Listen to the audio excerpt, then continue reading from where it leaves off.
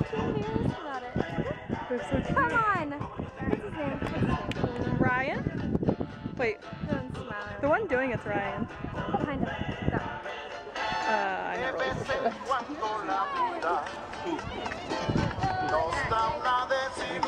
so fun.